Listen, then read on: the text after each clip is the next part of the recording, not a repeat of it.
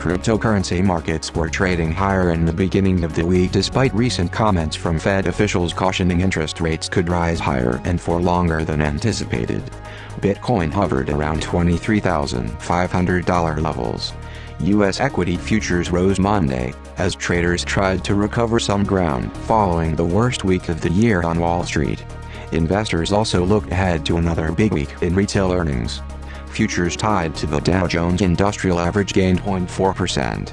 S&P 500 futures were up 0.5%, and Nasdaq 100 futures rose 0.6%. The global crypto market cap is $1.07 trillion, a 0.85% increase over the last day. Bitcoin's dominance is currently 42.20%, an increase of 0.01% over the day. BTC was trading at $23,437 up 0.88% in the past 24 hours. ETH was trading $1,640 up 2.34%. All the other major altcoins traded higher.